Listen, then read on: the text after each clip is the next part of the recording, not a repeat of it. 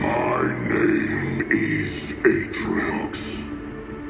And I am the last face